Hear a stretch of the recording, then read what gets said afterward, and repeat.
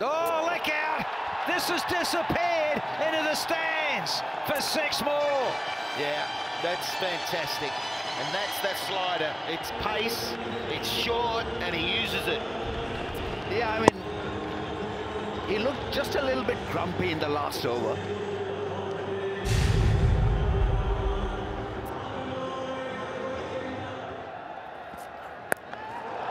Top edge, but enough bat on it for six.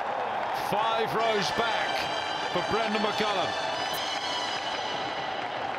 You go short to Brendon McCullum, and he's got to take it on.